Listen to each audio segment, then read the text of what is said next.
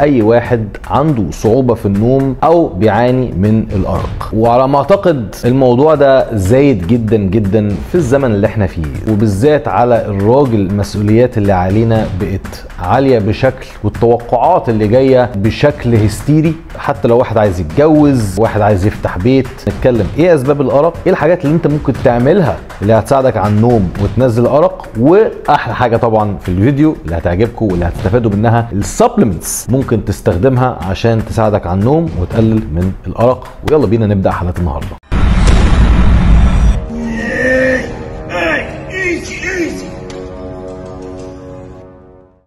ازيكم يا جماعة؟ أهلا بيكم في حلقة النهارده. خلينا نبدأ يا جماعة أول حاجة أسباب الأرق. توتر stress ال overthinking التفكير الزيادة. كل الحاجات دي بتسبب إلى أرق. ولكن برضو في عوامل تانية غير ال stress أو غير إن أنت قاعد بتفكر في مشكلة أو حاجة على بالك.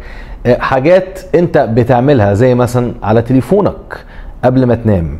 ال blue light أو اللون أو النور الأزرق من التليفون من أكتر الأسباب اللي بيعمل اضطراب في الميلاتونين الطبيعي بتاعك وفي نفس الوقت من الجهاز العصبي عندك اللي بيمنعك أصلا من إن أنت تبتدي تنعس. ده على فكرة سبب كبير جدا لأن معظمنا حتى أنا بتكلم عليا أنا برضو يعني دايما على تليفوننا على الإنستجرام بنشوف الضره بيقول إيه تحفيز الضره فيديوهات الضره رايح تشتري كتاب دمرها قبل ما تنام. حاول تعمل الحاجات دي على مدار اليوم. لما يجي مثلا ساعتين قبل النوم حاول إن أنت تبعد عن التليفون. أنا عارف إن ال videos إدمان ولكن حاول إن أنت تبعد عنها وتبعد عن التليفون خالص. ده غير إن أصلا على تليفونك لما أنت بتعمل scroll على التليفون بتاعك قبل ما تنام بتشوف حاجات كتيرة بتعمل trigger لأفكار معينة.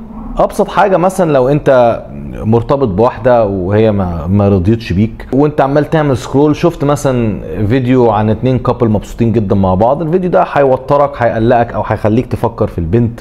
ده يسبب لك overthinking ويسبب لك الأرق. حاجة تانية مثلا مديون عندك ديون أو حاجة زي كده. تشوف فيديو Andrew Tate عمال يمشي بي flex بالعربيات بتاعته مش عارف إيه بيخليك تحس بنوع من الحسرة اللي هو أنا نفسي فاهم؟ ما يكونش عندي المشكلة اللي عندي وأكون عايش حياة زيه.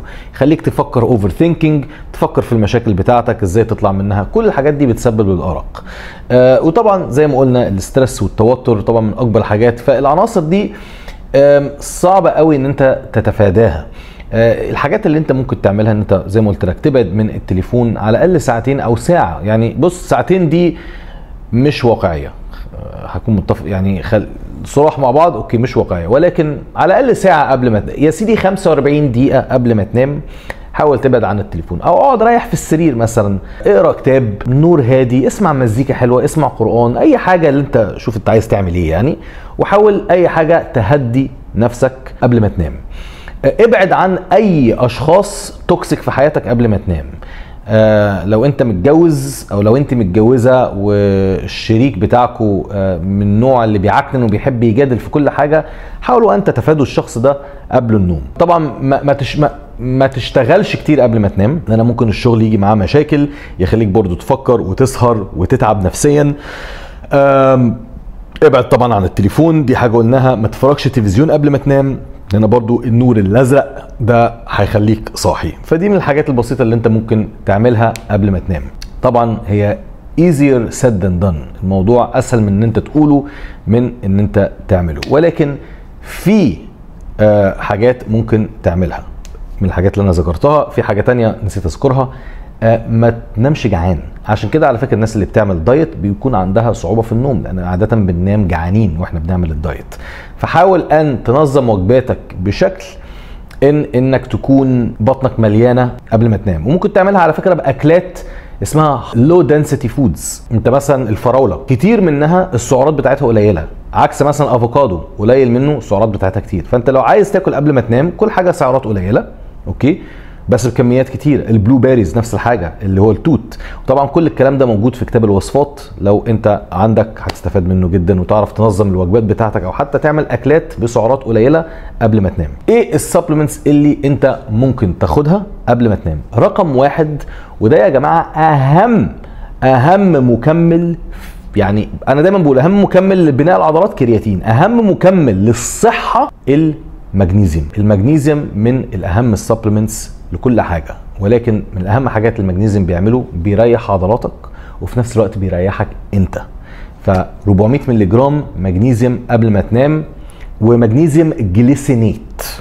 لأن في أنواع مغنيسيوم كتيرة مختلفة مغنيسيوم glycinate هو ده اللي أنت بتدور عليه ولازم تشتريه على طول من أمازون. حتى لو أنت ما بتلعبش رياضة مغنيسيوم 400 مللي جرام يوميا مهم جدا. تاني حاجة الميلاتونين. الميلاتونين طبعا الهرمون الطبيعي اللي موجود عندنا ممكن تاخد منه 5 أو إلى 10 مللي جرام حتى ناس بتطلع إلى 15 مللي جرام قبل ما تنام. ولكن الميلاتونين بحب أنا أعمله cycling يعني لو أنا مثلا كنت في بطولة وباخد ميلاتونين بحب أعمله cycling عشان الجسم ما يعتمدش عليه. فممكن تعمل مثلا خمس أيام وتريح يومين أو ممكن مثلا تعمل يومين آه يوم لأ. حاول إن أنت هيساعدك طبعا على النوم ولكن حاول إن أنت ما تاخدوش كل يوم بشكل مستمر لفترات طويلة. تالت حاجة العشب اللي اسمه ال valerian آه ال valerian ده نوع من الأعشاب وهدف بتاعه بيقلل من التوتر والقلق ال supplement ده لذيذ جدا وهيساعدك إن أنت تقلل من ال overthinking وتقلل من التفكير الزيادة ويهديك شوية وبيبقى combo حلو جدا مع ال amino acid ال theanine. ال theanine برضو بيعمل نفس الحاجة بيعمل لك relaxation بيهديك خالص وبيهدئ من أعصابك والتوتر بتاعك اللي انت ممكن تمر بيه من من يعني من خلال اليوم. فكده دول أربع مكملات ممكن تاخدهم. هنخش دلوقتي على حاجات أتقل شوية. ال GABA ال GABA ده ناقل عصبي هدفه إن هو بي induce أو بيسبب الاسترخاء. يعني ممكن أصلا تلاقي نفسك نعست بعديها كده بربع ساعة نص ساعة. والحلو اللي فيه انه برضه بيخلي أحلامك تقيلة جدا وفي كمان أدلة بتقول إن ال GABA بيخلي جسمك يفرز شوية growth hormone قبل ما تنام بشكل طبعا قليل جدا. مشكلة ال GABA هو أنت مش هتعتمد عليه ولكن ممكن تعمل له cycling برضو زي الميلاتونين فساعات أنا بحب أعمل إيه بقى؟ خد ال combo ده. ساعات أنا بحب مثلا آخد ميلاتونين أربع أيام ورا بعض مع الثيانين مع مغنيسيوم كل الحاجات دي هتسبب للنوم. وبعدين ثلاث أيام أروح قالب على جابا برضو مع الثيانين وبرضو مع مغنيسيوم فالخلطة دي هتبقى خلطة لذيذة جدا إن هي تساعدك على النوم لأنك كده أنت مش معتمد على ولا ده ولا على ده وهما الاثنين مش بينافسوا لنفس الريسبتورز خالص. فهما الاثنين مش هيكون عليهم نفس التأثير إن لو كانوا من مثلا تحت نفس عائلة المادة نفسها.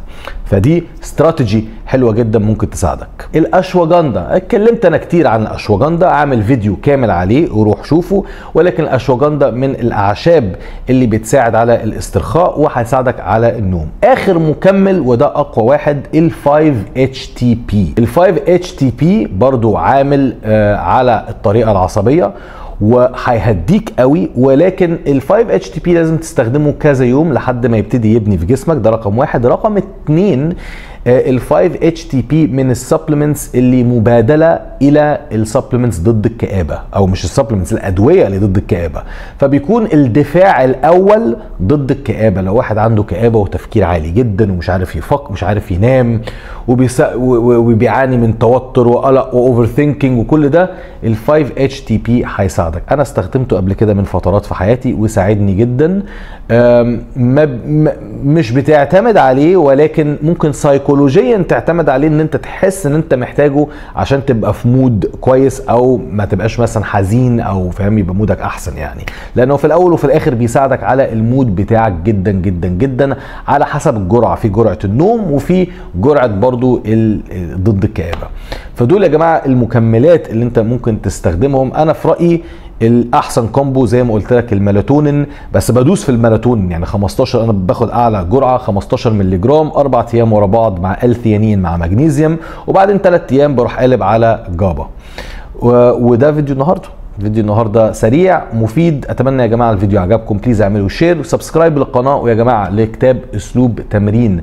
دمرها الاسلوب التمرين اللي وصلني للمستر أولمبيا من أول سنة احتراف ومفيش حد عملها في مصر على فكرة غيري أنا وال Big Ramy لو أنتوا مش قادرين تشتروا ال programs المخصصة أو غالي عليكم ممكن تكتفي بكتاب أسلوب تمرين دمرها اللي هيعلمك إزاي تتمرن ويوفر لك شهور من التجربة وفي نفس الوقت معاه طبعا كتاب ال وصفات 100 وصفة كل وصفة كاتب لك فيها ال macros بتاعت كل وجبة فأنت أصلا ممكن تصنع ال diet بتاعك من نفسك من الكتاب ده لو أنت عارف أنت محتاج كام سعرة سواء عايز تخس أو تزيد في الوزن. وده فيديو النهارده ونشوفكم بكرة إن شاء الله في الحلقة اللي جاية. يا جماعة آخر حاجة الإنستجرام بتاعي هو ده. روح اعمل له follow بحط عليه محتوى كتير جدا جدا كل يوم. اشوفكم بكرة إن شاء الله. لو انت حاسس انك مش عارف تكبر عضلاتك سرعة بناء العضلات عندك ضعيفة. اشتري كتاب أسلوب تمرين دمرها. أنا اسمي محمود الدرة لاعب محترف كمال أجسام لاعب في المستر أولمبيا واخترعت طريقة تمرين الجديدة مفصصة من أسلوب دوريان ييتس اللي هو ست مرات مستر أولمبيا ولكن معدلها بحيث إن إحنا ما يجيلناش نفس الإصابات اللي جات له. أسلوب التمرين ده يا جماعة هو اللي ساعدني أوصل للمستر أولمبيا وأتعدى على عيوبي في جيناتي وهيلخص لك إزاي تتمرن صح بدل ما تقعد أنت تختبر مع نفسك وتتعلم على مدى سنين. هتشتري الكتاب ده ثمنه ثمن وجبة ماكدونالدز في كندا وهتتعلم منه كل اللي انت محتاج تتعلمه في التمرين. ال link سايبه لك تحت اضغط على ال link وخش اشتري الكتاب.